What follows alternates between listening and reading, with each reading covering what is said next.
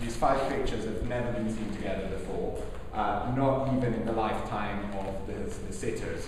Um, one of them was done for the Bank of Spain, the others were done for the, for the family palace, so they were never brought together in the way they are today. So it's, it's a really remarkable occasion to look at these and think about uh, young Goya as well. These are paintings from the very first phase of Goya's career. Um, when we think of Goya, we tend to think of much more about the later pictures during the wartime and later um, the dark paintings, the black paintings. The, the original idea of the show comes from the portrait behind me, the, the Red Boy, which is one of the most iconic pictures here at the Met. And very few people realize that the boy's mother across the room is also the Metropolitan, but it's in the Lehman collection. The whole story begins with the Count. Um, he was um, the, one of the directors of the was what was then called the Banco de San Carlos, the Bank of, of, of St. Charles, which was founded by the King, Charles III, and in the 1840s then eventually became the Banco de España, the Bank of Spain as we know it today. So this is a portrait that was painted for the Bank of Spain. It stayed there ever since. It has never changed hands. It's always been in the same location.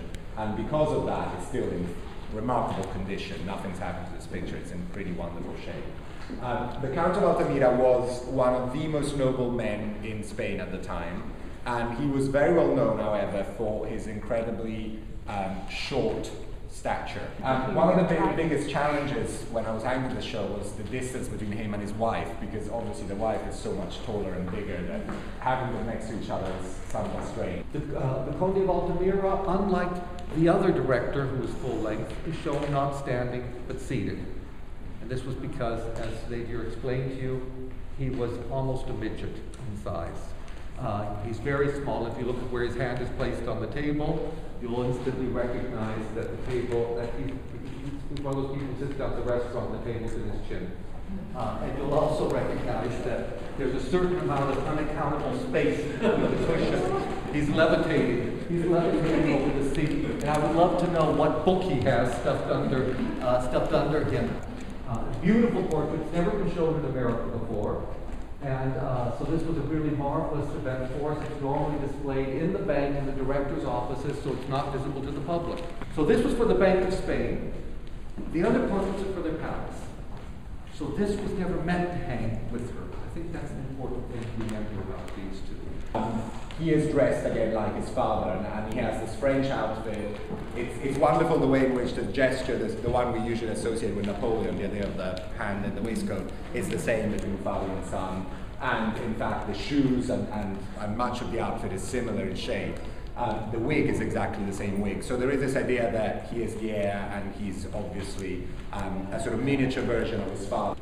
The younger brother, Manuel Osorio, uh, was seven years younger than Vicente, so he was about three or four years old when this was painted. I mean, it's the most original and the most interesting of the paintings of, in the show, obviously, because here you really feel that Goya is, is sort of letting loose and, and focusing on the idea of childhood and not really being constrained by a sort of court portrait, portraiture sort of formula, which is what he did with the others.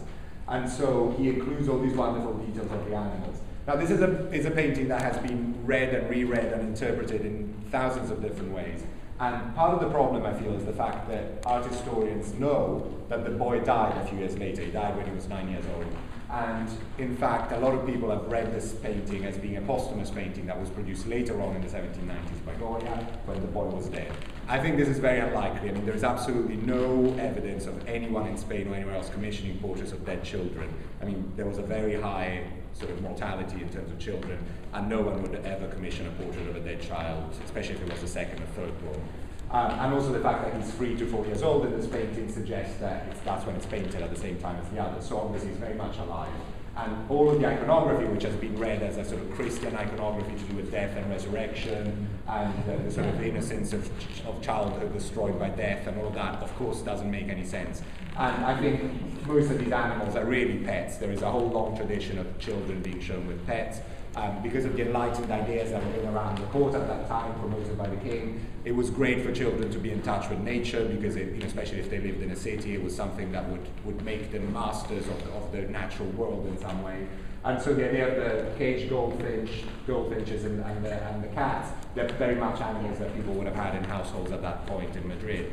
Goldfinches as well, especially, were well known for singing very beautifully and for being very good sort of tame birds to have. And if you think of the Carel Fabritius um, goldfinch that, from the Mauritshuis, that you know they had them in Holland, they had them in Italy, they had them in Spain. They were very common pets. Uh, the magpie, I feel, is, is Goya's own joke, and of course magpies are known for stealing objects, and the magpie has in its beak Goya's calling card, and so there is a slight joke within the painting um, which Goya introduced. And it's interesting that he felt free to introduce that joke in the least important of the paintings. This is the youngest boy, definitely compared to the grand portraits of the Count and the Countess. Goya would have never done that in those portraits, so he feels slightly more free to do that. Goya, I think, clearly responded to this child. And one of the keys to Goya's portrait, when he responded to the sitter, you got an extraordinary characterization. When he did not, you got a likeness. This, I think, is one of the masterpieces. Also, because he was, uh, it was the third child, I think that he was given this great liberty to elaborate upon it. Art this is an art historian's field paper.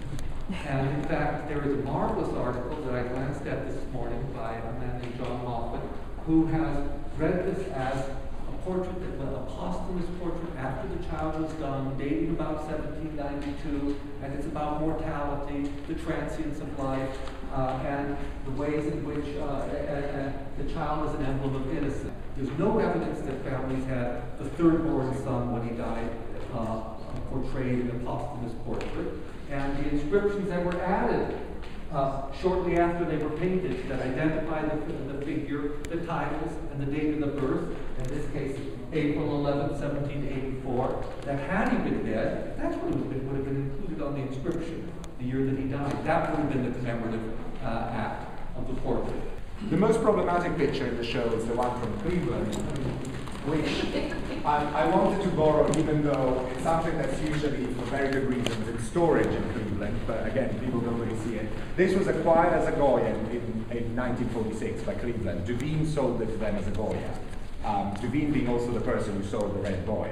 And there is a lot of correspondence in the archives in Cleveland with Duveen having this picture restored and then restored again and, and, again so that it looks like the Red Boy. And thinks it doesn't look enough like Goya, we need to make it look even more like Goya. And this whole picture has gone through a lot of hard um, sort of treatment. And in fact, the face is almost entirely repainted. There's not very much left of this painting. It's in pretty bad condition. Um, so this is Juan Maria Osorio, who was the brother in the middle between Vicente and Manuel, and who also died very, very young. And he died in 1785.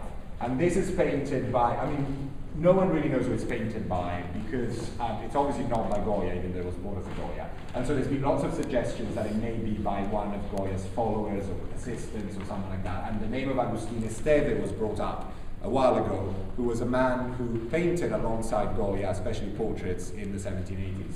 And I managed to confirm this because I found that Altamira family inventory from the 19th century in which this painting is described as being the work of Esteve. So we now know it's definitely by him. But um, this was probably done in 1785 when the boy dies. And, and, and my feeling is that this was probably started when the boy was alive and then uh, as the boy died, it had, had to be finished. And so some references to the boy's, boy's death were included. In fact, the inscription at the bottom says that he dies. And uh, the cage is, is, an open cage with a bird flying out, and the word Dios, God, is on the, is on the cage. So there is a sense of the bird going back to heaven, and presumably referring to the boy's uh, premature death.